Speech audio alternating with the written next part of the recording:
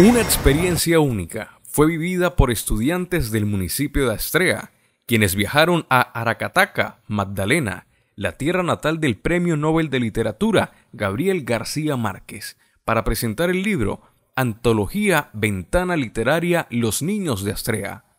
Esta obra fue escrita por 10 estudiantes y varios docentes del municipio.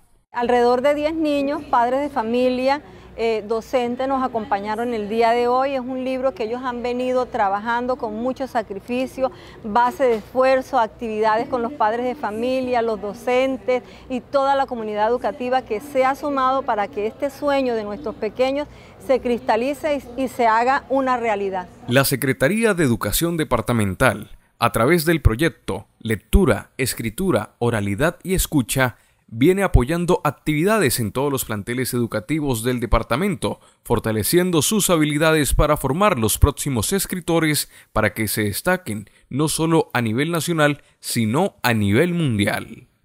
Allá pues nos dimos a la tarea de sembrarle a los niños eh, el gusto por la lectura y que escribieran cuentos, eh, poemas y pues aquí está el resultado de, de todos esos esfuerzos y de todas esas curiosidades de nuestros niños. Maite Beleño, con tan solo nueve años, fue la encargada de llevar la vocería durante la presentación del libro y expresó su satisfacción de haber participado en la escritura de la obra literaria. Me he sentido muy bien ya que ha sido una experiencia muy buena conocer el pueblo natal de Gao. Escribí mi biografía. Escribí un cuento que se llama La Casa de los Sueños. La Casa de los Sueños trata en un cuento sobre niños que no tienen casa, porque me da mucho pesar al ver a los niños así. Entonces la niña quería tener muchas cosas y la casa por ser mágica se lo iba a conceder. Agradecidos con la gobernadora Elvia Milena San Juan Dávila, se mostraron los padres de familia que tuvieron la posibilidad de llevar a sus hijos al lanzamiento del libro en el municipio de Aracataca.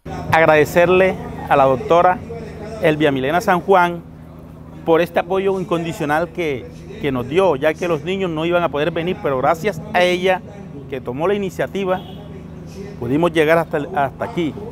¿Y qué le pido a ella? Que siga así apoyando a la niñez, porque en la niñez está el futuro de los municipios, el futuro del departamento y el futuro de nuestra querida Colombia.